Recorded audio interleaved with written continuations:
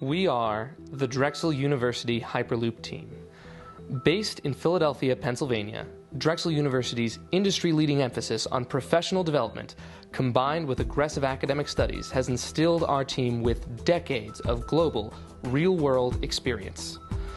Our team consists of over 70 senior engineering students and 10 faculty advisors.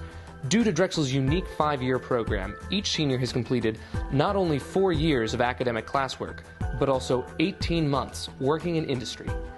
All told, our team has nearly a century of professional experience at leading engineering, aerospace, and advanced research companies from around the world. Our rigorous design and development process has yielded a fully developed pod and manufacturing schedule. The pod's aerodynamic shape minimizes drag, while the monocoque structure maximizes sturdiness.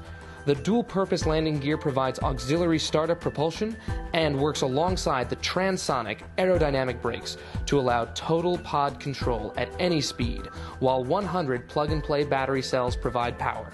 To date, the team has secured over $30,000 in initial round funding.